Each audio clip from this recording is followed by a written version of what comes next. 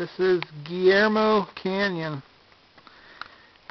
There's the owner of the canyon. In, in Gary, Arizona.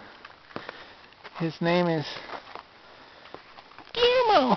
Let's see your little Costa Rica hat, Gary. I don't like this This one. This is my main supplier. Not my favorite. Federales were just coming out a little while ago. Canyon de Chelly.